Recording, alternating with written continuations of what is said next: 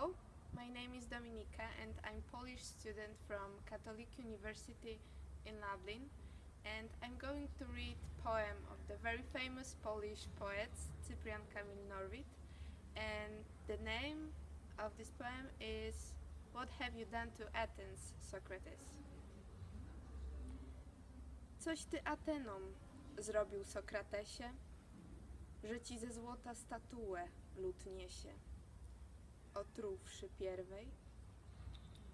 Coś ty Italii zrobił, Aligieri, że ci dwa groby stawia lud nieszczery, wygnawszy pierwej? Coś ty Kolumbię zrobił Europie, że ci trzy groby we trzech miejscach kopie, okuwszy pierwej? Coś ty uczynił swoim, Kamoensie, że po raz drugi grób twój grabarz trzęsie, zgłodziwszy pierwej? Coś ty, Kościuszko, zawinił na świecie, że dwa cię głazy we dwu stronach gniecie, bez miejsca pierwej?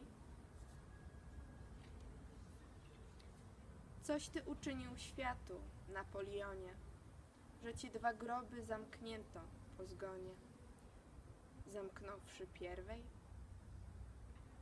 Coś ty uczynił ludziom, Mickiewiczu.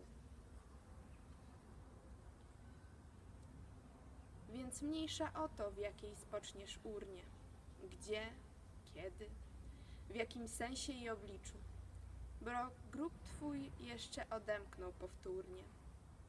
Inaczej będą głosić twe zasługi.